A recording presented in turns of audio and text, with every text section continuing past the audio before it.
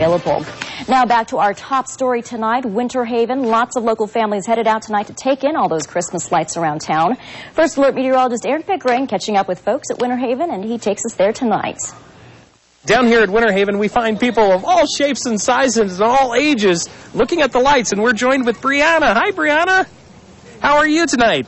Good. You going to see a lot of lights? Yeah. All right, and you're really excited to see a, lights, a lot of lights. How excited are you?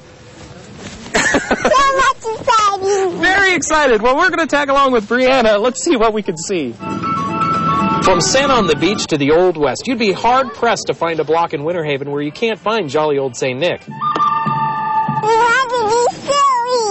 There are so many great sights, you want to make sure you pack your camera.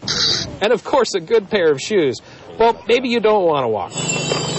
That's okay. Just hop on a horse drawn carriage or maybe a trolley. Or maybe these kids have it right. Take the train. She's fast.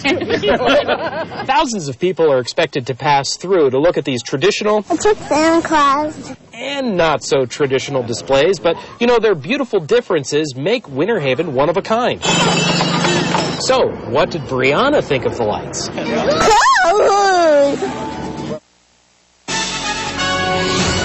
Oh, she was cute, wasn't she? And uh, Brianna saw plenty of lights, and there are lots of lights out here live at Winterhaven. Now, the festival goes on from about 5.30 or sundown until about 10 o'clock or around 10 o'clock at night, and that's when all the lights start getting shut down. So tonight, well, it's a little too late, but if you want to come out here, you can come out here through December 27th. We have all the details for you already on KOLD.com slash celebrate. Just go to KOLD.com slash celebrate. There, you can take some pictures, and, hey, you can also check out the schedule for when you can even drive through Winterhaven. The winds have been gusting today. First Alert Doppler Live has you covered right now. Still 15 mile an hour winds out there, 14 mile an hour winds in Green Valley, and 20 mile an hour winds hanging on in Douglas. Now, we're not done with the wind, and guess what? We're even going to see the rain make it here before long, but that's not going to stop some people from coming out. Take a look at some of the displays behind me.